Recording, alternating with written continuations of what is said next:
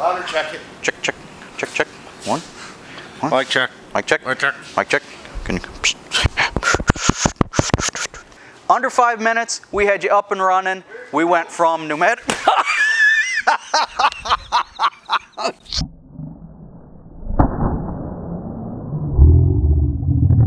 hey blasters, Sean from Blue Dog Blasting. Today we are going to do a how-to video and that is how to convert your pneumatic pot over to an electric pot in under five minutes using the Blue Dog Blasting electric conversion kit. Stay tuned.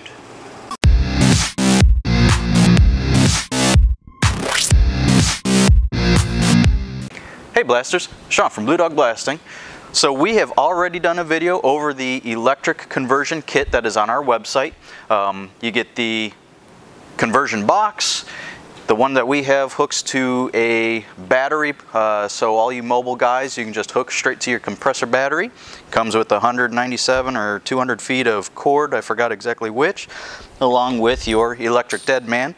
So this is going to be the how-to video of how to convert over from the pneumatic pot over to the electric dead man, and this can be done in under five minutes. Stay tuned. Why the f did I say stay tuned? We're doing the intro beforehand. All right, ready? So I'm just gonna go into it.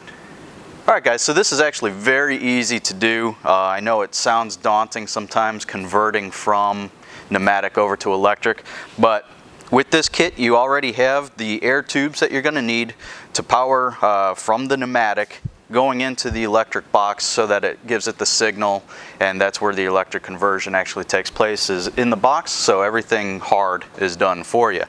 Um, the piping comes with easy quick connects so it makes uh, putting this on pretty easy. The only part that you're really going to need is a wrench.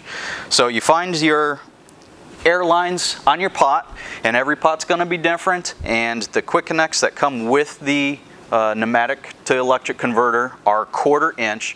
So if you have eighth inch and quarter on a Schmidt or Empire type of pot, you may need to convert one of these over to an eighth. Or if you have a Clemco, you may have to convert these over to one of the Clemco ends. But other than that, all you need is a wrench, locate your air in, so as the air comes into the pot here, you have a signal prior to your shutoff and a prior or after the shutoff, which your dead man controls that. You find it, simply thread one end over there, and since it's quick connect, then you can just pop that in. And then on the other end, thread that in as well pop in your lines.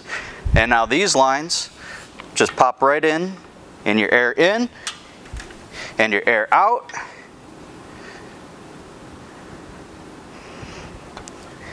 And now, tighten it down with your wrench.